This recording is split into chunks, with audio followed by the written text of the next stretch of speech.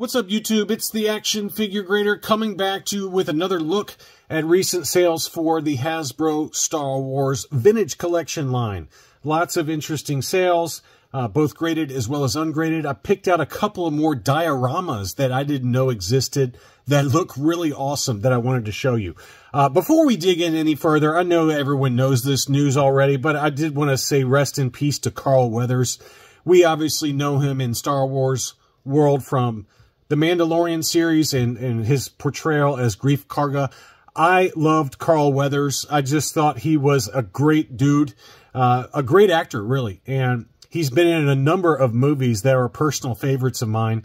Obviously, the Rocky series, uh, which I watched pretty religiously growing up on repeat. Uh, my favorite Carl Weathers movie is definitely Predator. Uh, Predator is in my top five in terms of those 80s action movies. Just an awesome movie.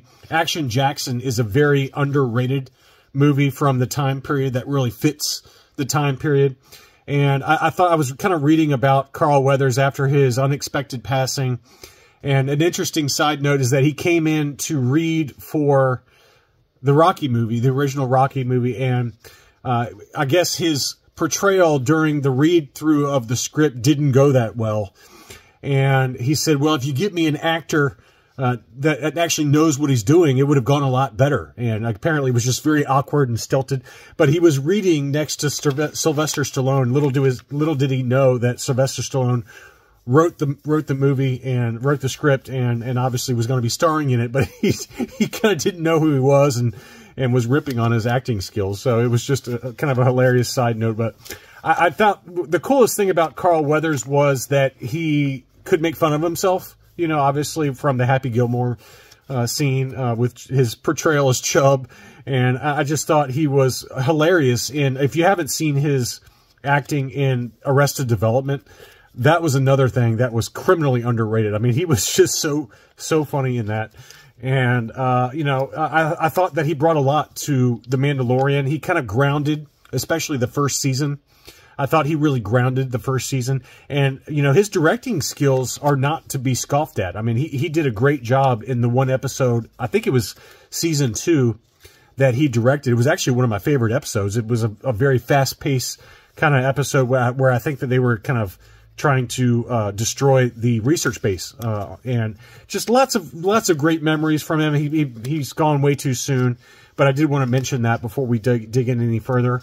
I also did want to say thank you to Laugh It Up Fuzzball 70. He sent me another super for a recent video, so I really appreciate the channel support from all of my Patreon supporters, and, and thank you for the super. Very kind of you. Uh, Dwayne was another gentleman, Dwayne Custer. He also sent me a massive super the other day. So uh, you guys are just really awesome for, for supporting the channel. So let's dig in. I've got a few, uh, nothing crazy, but I wanted to kind of show a few items. The first was a foil clone commander Cody and note to the seller, you want to take it out of the star case, which is obviously dusty. I mean, it's like he pulled it off the wall of his of his man cave and didn't bother to take it out of the, the star case. It had some kind of waviness to it, which I think could come out, but maybe one little chip or something in the lower right-hand corner, some edge wear there. So that all of those factors kept the price down. But I think that if you take take it out of the star case for the photos and flatten the card out by putting some books gently on top of of the cards for a week or so, that really does flatten the card back out when you have that card wave. Uh, but this one was a foil and it sold, it was listed for $140. It sold for 105 105 US dollars for that one. I've seen usually they sell around 120 to 150, anywhere in that ballpark for ones that are mint. This one did have some edge wear to it. So next up, we had to talk about this one. This is one and I had my what to buy video and I said, hey, you know, buy with caution. I don't know if this is truly an unpunched uh, clone commander, Cody. We all know how expensive those normally are. They are very pricey, even with a drop somewhat in prices for the vintage collection from those COVID highs.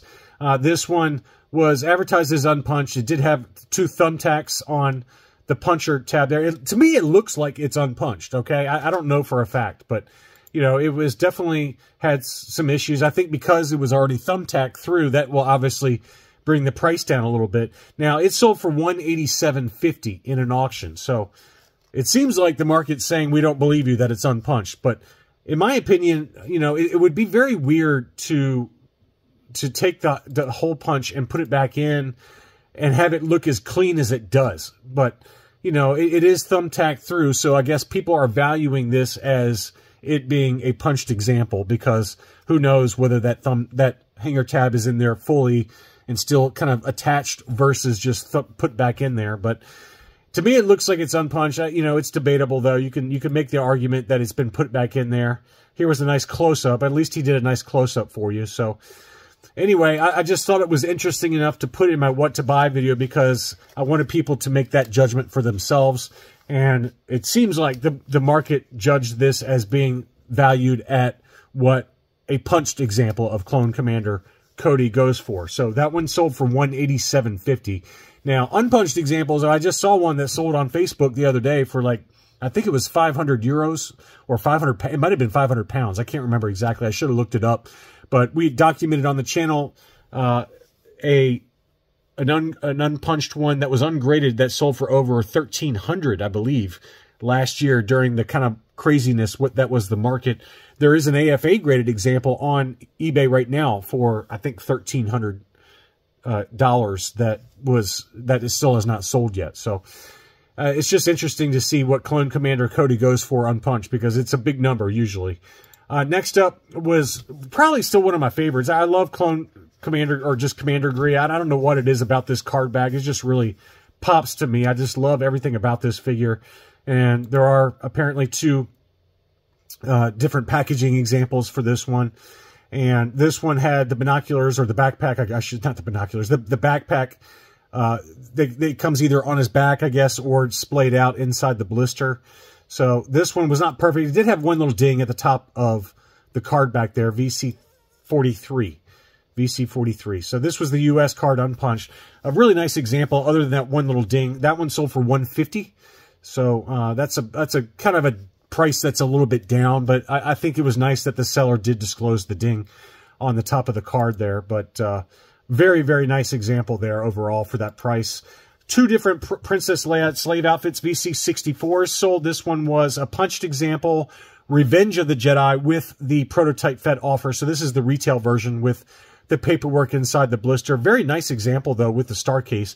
That one, or with the acrylic case, that one sold in an auction for 187.50, which I thought was a pretty good deal. Card looked to be in pretty awesome condition overall. So that was a punched example. And then here was an unpunched example, still inside the star case. This one was the Return of the Jedi with the paperwork inside. No prototype Fett offer sticker. So whether it got missed in the factory or whether the sticker was taken off the front of the card, I don't know. But uh, overall, pretty clean condition. Uh, but I, I, would say that they should have taken it out of that figure shield, personally, for photos. But at first blush, it looks pretty nice. There, it looks like there's some edge wear in the lower right-hand corner as well as right here. So, you know, you got to be careful because I'm not saying this seller was doing that, but some sellers try to hide defects by putting it inside the case. Some sellers are just too lazy to take it out of the case for photos, but always take it out of the, out of the case. And then if you're a, a buyer, you really got to look at those photos closely. And if there's any question whatsoever, just walk away, find something else. But, uh, you know, I, am not trying, I don't think this seller was trying to hide anything because they did a good job of showing every angle. Uh, but you can see some of the edge wear down there in the lower right portion of the card back. And then there was some kind of scuffing or, or dings up here as well. So, uh, but just be careful when you're buying, you know, you, you, never know what's trying, what kind of hijinks people are trying to pull. Uh, this one did sell in an auction for 209.27, which it makes sense, right? Because given these two defects, that one right there, and then right here, uh, that, that's, that's about right, 209, uh, given that unpunched, really clean examples where you know that it's in really clean shape based on the photos, you're easily going to spend, let's say, 350 for an unpunched example. So that was the Return of the Jedi, again, with the paperwork inside. Next up is an Ahsoka. This was the U.S. card unpunched. A little bit of card curl, but otherwise fairly clean. You know, probably 85 grade condition. That one sold for 141.50. That was, again, the U.S. card back. Uh, next up is a Shae Vizsla. This only had one photo, but this one had the Darth Maul offer, unpunched U.S. card, character debut, so this is the first issue. This one sold for 173 which uh, that's up a little bit. It seems like they've been kind of more around 100 to 125 but I think we talked about that in the last video, how it's popped up back up a little bit in price. So this is another example of that. 173.33 plus $12 shipping. Uh, the Sand Trooper, this is one I had in my what to buy video. I know some of you have been looking for that unpunched VC112, the Dirty Paint App Sand Trooper. Uh, that one sold for $81, which was that's the lowest price I've seen in a while. Now, it did have a defect on the hanger tab. You can see it's got that little kind of crease going through on the hang tab, which you usually do see that on the on the Hasbro Canada unpunched examples. It's some kind of factory defect that almost all the hang tabs that I see for Kenner Canada or Hasbro Canada vintage collection all have that defect. But this one was the U.S. card with that defect. So it just must have been some kind of factory issue.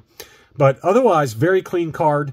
And uh, $81 is the lowest price I've seen in a while for that one. So hopefully one of y'all were able to pick that one up for a good deal there. I want to talk about Jocasta Nu. Uh, she has really jumped back up in price. She got it jumped up to like $300. and then she kind of dropped back down into like the 170, 150, 175 range. But lately it's been going back up again. Uh, this one is the Brian's Toys exclusive with all of the packaging and everything. This one, this seller is Brian's Toys, I believe. No, this is Star Wars Galaxies, different seller.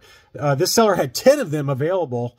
Four of them have sold for $218 plus $2 shipping, 250 shipping. So uh, if you're looking for one, I'll put a link in the video description to this Jocasta Nu because uh, this seller does still have six available. But I point this out because a loose one complete sold recently in an auction. This was up in Canada for 113 US dollars. So this is just loose, not still mint on card. So that just shows you how much she's jumped up a little bit.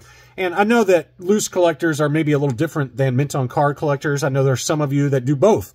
Uh, but I, I, did want to point out that it seems like Jocasta Nu's jumped up just a little bit in price, given that a mint loose complete sold for 113 and then you got this one still in the big box that's velcro packed you know velcro packed with a kind of a window this seller's got six of those still available at $218 $220 with shipping so again if you want to buy one of those i'll put a link in the video description that helps out the channel uh, next up, this one fell under the radar. I could not believe this. I wish I had seen this. I would have pointed it out to y'all, but this one was a mint and seal box Toys R Us exclusive Republic gunship, and it sold only one bid for $325 plus $30 shipping. That's $350. Now, the packaging wasn't perfect, but it was still in really good shape overall. You know, not perfect, but very good shape. And it sold for 325. Now, these have been usually selling in anywhere from 600 to $800. So I was shocked that this one only had one bid. It must have just fallen underneath the radar because I didn't see it either. Otherwise, I certainly would have alerted you guys to it in a what to buy video. So the Toys R Us exclusive gunship, that was a bargain of a deal. Nobody bid on it. $355 after shipping on that. That was a steal of a deal. Congratulations, whoever got that one. Uh, now I've got some graded figures that I wanted to point out. Ewok Mania over in the UK has had a number of very high grade TVC that I've sold. And I know that a few Patreons have been buying these left and right. They've mentioned them to me. So this was a U95 grade Princess Leia Organa. This is not the error card. This is the correct VC150. There was an error, which I think was VC164. Uh, that one is, you know, obviously Cara Dune. But this VC150 is what she's supposed to have. So this was corrected. Uh, this was an uncirculated 95 and it sold for 155 pounds, which is 196 US dollars. Very desirable card bag, beautiful card image there of Car uh, Carrie Fisher. And then we had the Mimban Stormtrooper. This was the Walmart exclusive, graded UKG 90. That one sold for 43 pounds. That was an absolute bargain, just given what it costs to ship this to UKG, plus the grading cost, plus shipping back. Then you got to sell it, plus shipping. So I, I, thought that was a great deal. And I know somebody in the UK picked this one up. Uh, but very, very good deal. And I, they usually sell for more than this ungraded. So that was a bargain, at least over here in the U.S. They sell for more like, I'd say 75 to 85 bucks here in the U.S. for the Mimban Stormtrooper. So very nice example there. Very high grade. Great deal. Uh, the Scar Scarif Stormtrooper, this one was an uncirculated 90. That one sold for 47 pounds, which is 59 U.S. dollars. Another bargain of a deal there, uh, just given that the Scarif Stormtrooper is definitely one that is very desirable for, for many collectors. Uh, Han Solo in Carbonite. This is another one that seems to be jumping up in price. And because I found a number of ungraded examples that sold for a lot of money as well. So this was a graded 90. This was, I believe, a pack-in, was it not? Uh, Hasbro Europe 8-back Return to Jedi. I thought this was a pack-in for the Star Wars, uh, the uh, Jabba the Hutt playset or, or hallway. Uh, it came like with decorative kind of heads and things like that. So I think that this one, it was packed in with Han Solo and Ree-Yees. But this one was a 90 grade and it sold for 153 pounds, which is 194 US dollars. And you're like, wow, that maybe is a one off. No, it's not because I found several other examples of Han Solo and Carbonite that go for a lot of money, you know, over 100 pounds, 125 US dollars, ungraded. So that's one that's definitely cre creeping up in price a lot. Next up, Captain Phasma. Always a card image I've liked. I know it's a sequel trilogy, but it's one that I've always liked. This was an uncirculated 95 grade that sold for 68 pounds. Another really good deal there. That's 86 US dollars. And uh, this seller had a UKG 95% Revenge of the Jedi Boba Fett. So this is from the Death Star, SDCC Death Star. That one sold for 200 pounds, which is 253 US dollars. So very desirable item there. And, you know, occasionally you see them sell for about that much ungraded. Uh, more likely you're talking like 200, maybe 175 on the very low end. But uh, to get one already graded 95% from UKG for 200 pounds, that's not a bad deal at all. Very good deal there, I think. Uh, next up was a UKG 90% Boba Fett Morak. This is from, obviously, The Mandalorian. Great card image there on that one, VC252. That one was listed for 200 pounds and sold for 170 pounds, which is 213 US dollars. So good buy on that one. Now we got the big boy. Now we've got the big boy. This was an AFA graded Salacious Crumb graded 9.0 on the modern scale. So we know how expensive this one is. We just documented one that sold for a lot of money, almost a thousand bucks, or it might have even been over a thousand bucks that was ungraded and had condition issues. This one is obviously near mint plus condition, AFA 9.0, and it sold for $1,100. So big number on that one. That was a buy it now situation, and it must not have last long because I didn't see it or I would have certainly mentioned it. But uh, $1,100 is the new going rate for an AFA 9.0 Salacious Crumb from the Revenge of the Jedi SDCC Death Star set. Uh, and then I wanted to point out before we finish things off, these two uh, dioramas, I've talked about these dioramas lately from this seller, uh, and this, these are all Europe, or not, they are not in Europe, but they are in Sri Lanka. Sri Lanka. But uh, he's got really good feedback, and I've actually heard from a number of you that have bought from this seller and have been really happy with the dioramas. The very, very high quality dioramas. This is Lars's Garage. I just think that these things are incredible. I love the details on them. Look at the detail on these. It comes with all these little pieces. The paint apps and everything are just awesome. Uh, it's got some, you know, it looks like a, a moisture va uh, moisture evaporator evaporator that is uh, uh, uh, moisture farming. Uh, so they're working on that. So it's just really everything about it is just awesome. Look at the detail on it. Uh, the colors, uh, everything about it is awesome. So if you're into these things, four of these have already sold. There's three still available. These are scaled for three and three quarter inch vintage collection or vintage Kenner if you wanted to figures. Uh, just awesome. It looks really, really cool. So that's one of them. This one is, I guess, it was originally from Landspeeder Deluxe for the Black Series. And so this seller in Sri Lanka is sizing them down using 3D printers for three and three quarter inch scale figures. So all pieces separated to print on a 200 millimeter 3D printer. And uh, pretty awesome, pretty, pretty cool design there. And I don't know if these come, do they come finished or is it just for the map? Custom diorama. This is a 3D printed model. You will get everything shown in the photos except for the action figures. Uh, shipped as several pieces, you will have to bond some parts together. So you just use, you know, some kind of like glue or adhesive to, to glue them together. Uh, but it's scaled for three and three quarter inch. But I love this this uh, Star Destroyer bridge. Uh, I love the details down here. Uh, really, really cool for showing the Imperial officers at their computers. And then obviously, no disintegrations. It's just really, really awesome design there. So I don't know which one I like better. I think I like the Lars Homestead better, but this is obviously a more iconic display. And uh, if you're into kind of doing shelf spaces and things like that, I used to do this, but I don't do it anymore. But I, I just think it's so cool. I wanted to point them out. This one is $120. He's already sold one, and there's two still available. And so you got you got to wait. Just be you got to be patient. But I've, I've heard from several of you that said they arrive. You just got to be patient in terms of how long the shipping takes. Uh, but they've been really happy with the quality of the of the work. So anyway, just wanted to point those out, and I'll put a link in the video description in case you want to uh, to, to make a purchase on one of those as well. So anyway, I hope you enjoyed this look at some recent sales for the vintage collection. Thanks as always for watching. Please leave a like to help out with the algorithms, and I'll be back soon.